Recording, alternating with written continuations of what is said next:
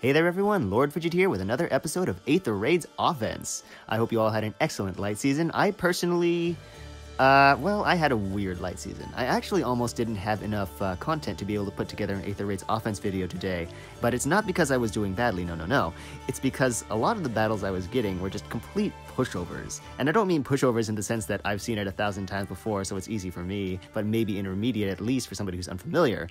No, I mean like this was the penultimate battle of my Aether Raids offense season.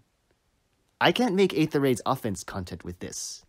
Well, I could, but you'd all probably be incredibly bored. Like, oh, wow, he sent in Azura.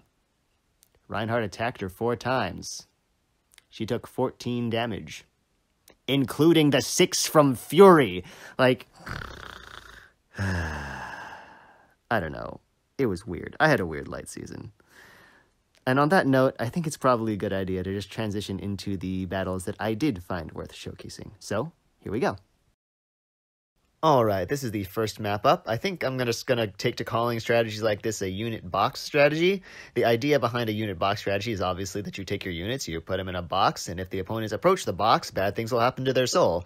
Uh, it tends to work better if you don't leave massive coverage gaps like they have over here on the left-hand side. This is probably the most exploitable weakness for this map. If you were to break these structures and then snipe either Alm or Sothis over the uh, over the Panic Manor and or Bright Shrine, then you can refresh your attacker and then just stick them somewhere along the left hand edge. And now the opponent can't actually reach you. They can't. Uh, the infantry units, especially, won't be able to get around the mountain.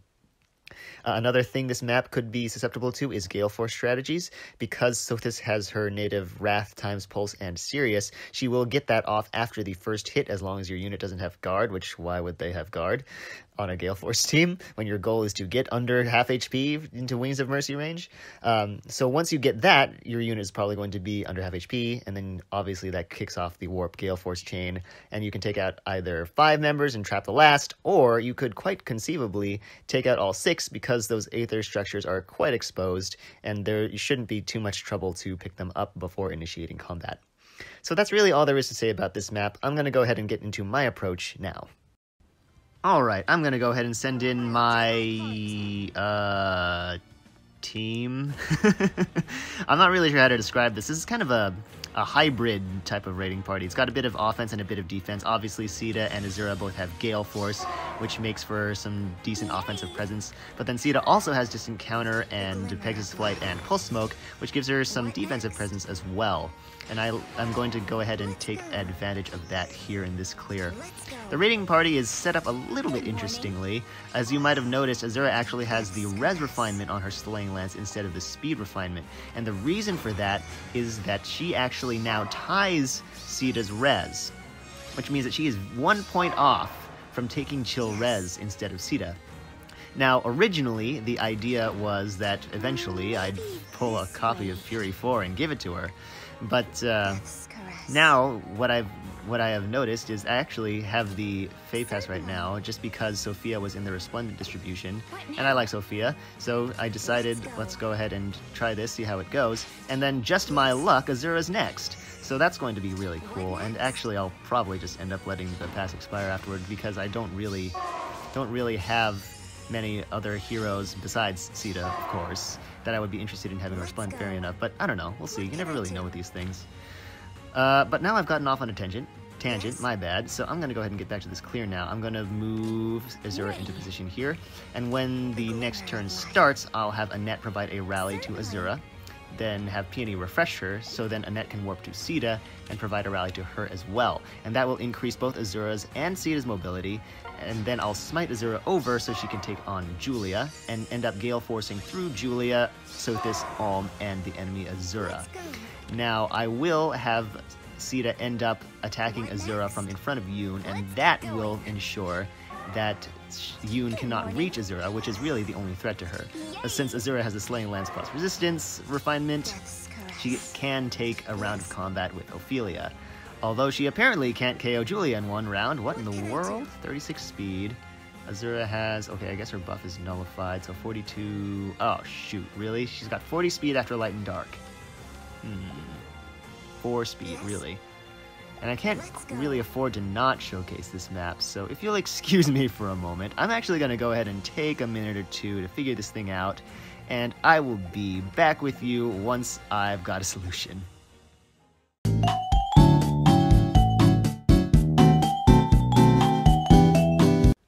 Alright, I am back. Sorry about that. That was uh, kind of awkward. But let's go ahead and get this show on the road. I'm going to need two more turns to get set up here, which is unfortunate and cutting it quite close, but I will still be able to finish the battle. I'm going to be employing even crazier warp shenanigans than I was with my initial variant of this strategy, so if you were impressed by the first set of warp shenanigans I was doing, then this is really going to knock your socks off, and if you weren't impressed by the first set of warp shenanigans, well, then you're probably going to find this unimpressive as well. Uh, oh well. Nothing I can do about that. So, I am ready to roll here, so let's go ahead and have Annette rally Caeda. And then I will have Peony refresh Annette, which will provide the uh, Gentle Dream bonus to both Annette, who will warp to Eir, and to Eir, who can now warp to Azura.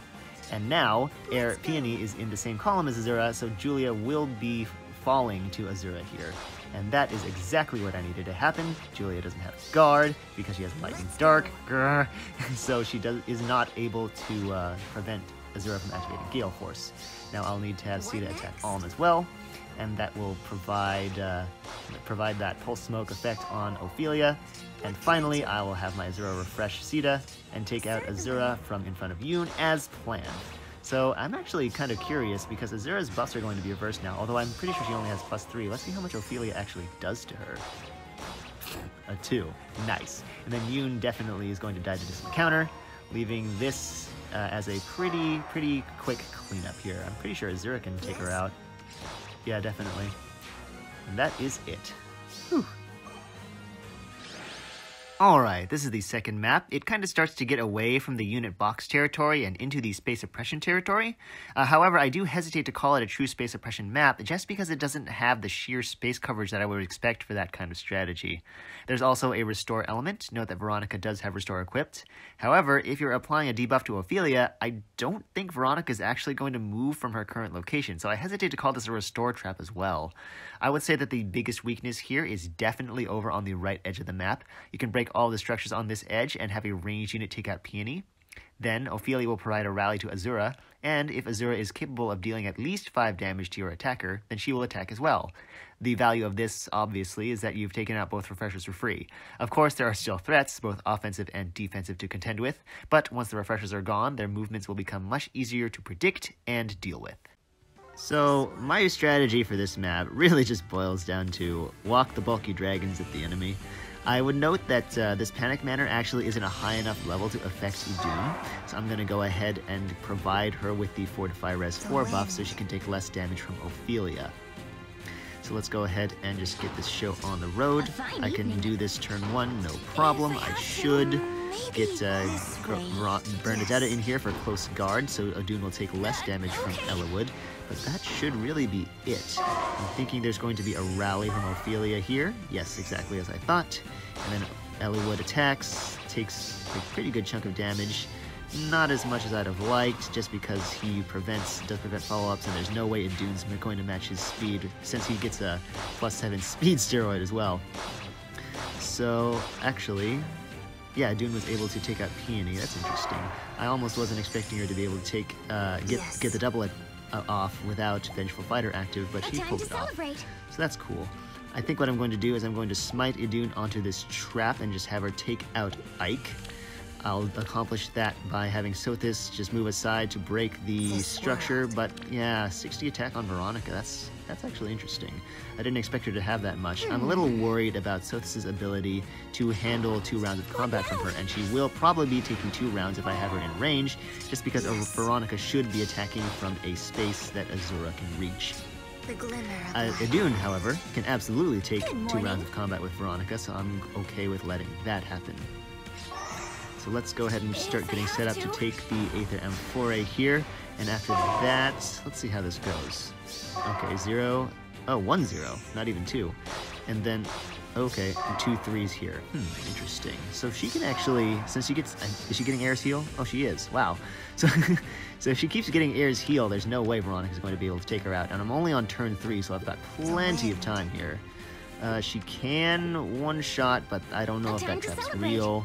So let me go ahead and reposition Eir in here class. and bump her up. And I Yes. forgot that Smite bumps up two spaces instead of one. I thought she was going to land on the trap for s- whatever weird reason. Uh, oh well, Veronica can't take out Bernadetta, so I'm going to go ahead and The break the light. Amphore. And then This Oh, air world. has Mystic Boost actually. So what I can do is I can have a Idun take out Azura, who has Triangle Adept. This will this was actually even this was even a easy match without the Triangle Adept. And then I'll just have Eir block Veronica from reaching Sothis. So no trouble there at all. In fact, I'm thinking she probably is going to just attack Bernadetta. And yeah, exactly as I thought. And can actually can Bernadetta finish her off? Let me take a look here. She What can now? deal Oh wow, she does it. Does the job. Cuts right through that miracle. Nice job, Bernadetta. Alright, that is it. Unfortunately, this episode of Aether Raid's offense is going to be a little shorter than usual because, as I mentioned, the really weird week I had this past light season. Regardless, I hope you enjoyed what I was able to put together for you. I personally had a lot of fun bringing out Caeda in Aether Raids again. I think I might actually keep that raiding party together even after Annette leaves the bonus rotation just because the, it just works so well. The unit, or well, the units work so well together is probably a better way to phrase it with the stats and the skills and just everything in general. So, I don't know. We'll see. I hope to see you guys at the end of next Astra season for another episode of Aether Raid's Offense. And until then, thank you so very much for watching, and I will catch you next time.